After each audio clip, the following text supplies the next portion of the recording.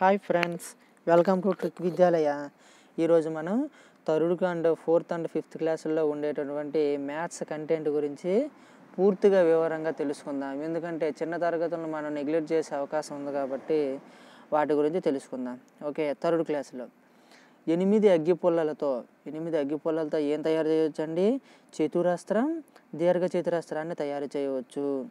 మరి ఐదు అగ్గి పుల్లలతో త్రిభుజాన్ని ఏర్పరచవచ్చు. ఐదు అగ్గి పుల్లలతో త్రిభుజాన్ని ఏర్పరచవచ్చు.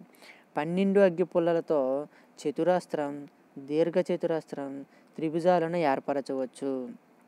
సున్నా నుంచి తొమ్మిది వరకు గల వాటిని అంకెలు అంటారు. పదితో పాటు పది తర్వాత వచ్చేవి సంఖ్యలు. అంకెల్లో చిన్నది సున్నా పెద్దది తొమ్మిది. సంఖ్యల్లో చిన్నది పది పెద్దది చెప్పలేము. సంఖ్యల్లో పెద్దది చెప్పలేము. ఆరోహణ క్రమం అంటే చిన్న నుంచి పెద్ద. అవరోహణ క్రమం అంటే పెద్ద నుంచి చిన్న. అవ్వ అంటే పెద్ద వయసు కలిగింది కాబట్టి అవరోహణ అంటే పెద్ద నుంచి చిన్న. ఎక్కువ అంటే గ్రేటర్ దెన్ వాడుతాం. తక్కువకి లెస్ దెన్ వాడుతాం. సమానం అనే సూచికకు ఈజ్ ఈక్వల్ టును వాడుతాం. ఎనిమిది ఐదులో సారీ ఎనభై ఐదులో ఎనిమిది యొక్క ముఖ విలువ ఎంతంటే ఎనిమిది యొక్క ముఖ విలువ ఎనిమిది స్థాన విలువ ఎనభై. ఇది ఇంపార్టెంట్ అండి. ఎనిమిది ఎనభై ఐదులో ఎనిమిది యొక్క ముఖ విలువ ఎంతండి ఎనిమిది. స్థాన విలువ ఎనభై. ఓకే. ఇవి మనకి చిన్నవి అనిపిస్తాయండి. కాకపోతే వీటిని తెలుసుకోవడం ఆవశ్యకం. కూడిక. కూడికనే సంకలనం అంటారు. సంకలనం లేదా మొత్తము ప్లస్తో సూచిస్తాము. తీసివేత అనే వ్యవకలనము మైనస్తో సూచిస్తాము.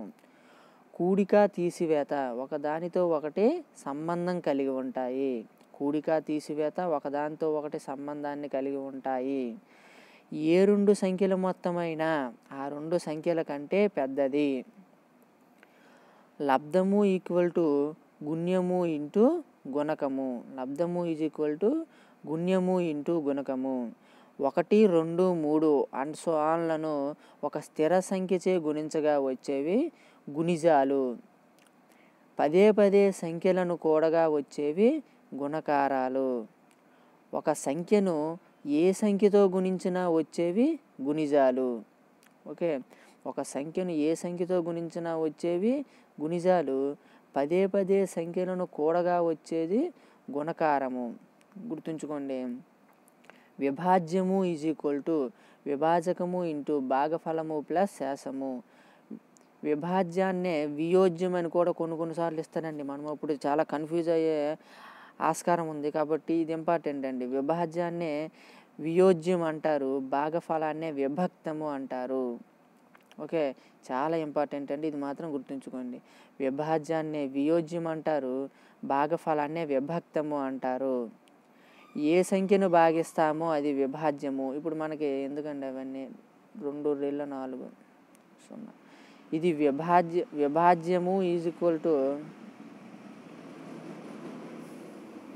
ఇది విభాజ్యము విభాజ్యము ఈజ్ ఈక్వల్ టు విభాజకము ఇంటూ భాగఫలము ప్లస్ శాసము అంటే నాలుగు ఈజ్ ఈక్వల్ టు రెండు ఇంటూ రెండు ప్లస్ సున్నా. ఈ విధంగా గుర్తుంచుకోండి. ఏ సంఖ్యను భాగిస్తామో అది విభాజ్యము. ఏ సంఖ్యచే భాగిస్తామో అది విభాజకము. ఎన్నిసార్లు భాగించబడుతుందో అదే భాగఫలము. మిగిలినది శేషము పదే పదే సంఖ్యలను తీసివేయగా వచ్చేది భాగాహారము. గుణకారం భాగాహారం పరస్పర సంబంధాన్ని కలిగి ఉంటాయి. ఇంతకుముందు మనం కలుపువేత మరియు తీసివేత అనేది పరస్పర సంబంధాన్ని కలిగి ఉంటాయి. పొడవును మీటర్ ఫర్ పొడవు మీటరు కిలోమీటర్లో తెలుపుతాం. బరువును గ్రాము కిలోగ్రాముల్లో తెలుపుతాం. పరిమాణాన్ని లీటర్లో కొలుస్తాం. కాలానికి ప్రమాణంగా సెకండ్ను వాడుతాం. ఒక పాత్రలో పట్టే ద్రవం యొక్క గనిష్ట గరిష్ట ప పరిమాణాన్ని ఆ పాత్ర యొక్క సామర్థ్యము అంటారు. ఒక పాత్రలో పట్టే ద్రవం యొక్క గరిష్ట పరిమాణాన్ని ఆ పాత్ర యొక్క సామర్థ్యము అంటారు. పొడవుకు ప్రమాణం మీటరు బరువుకు ప్రమాణం గ్రాము ద్రవాల ప్రమాణం లీటరు. ఓకే? గణితం లేనిదే భూప్రపంచంలో దేనిని గణించలేము. Okay friends? మనం ఇప్పుడు థర్డ్ క్లాస్ నేర్చుకున్న నెక్స్ట్ వీడియోలో మనం ఫోర్త్ క్లాస్ నేర్చుకుందాం. ఓకే ఫ్రెండ్స్ మీకు ఈ వీడియో నచ్చినట్లయితే డిస్లైక్ చేయండి నచ్చితే తప్పనిసరిగా లైక్ చేయండి సబ్స్క్రైబ్ చేయండి. ఎందుకంటే మేము చేస్తున్న వీడియోలు మీకు యూజ్ అవుతున్నాయో లేదా అనేది మాకు కూడా తెలియాలి కాబట్టి మాకు తప్పనిసరిగా ఏదో ఒక పాజిటివ్ కానీ నెగిటివ్ కానీ ఫీడ్బ్యాక్ అయితే తప్పనిసరిగా ఇవ్వండి. Thank you. Thank you so much.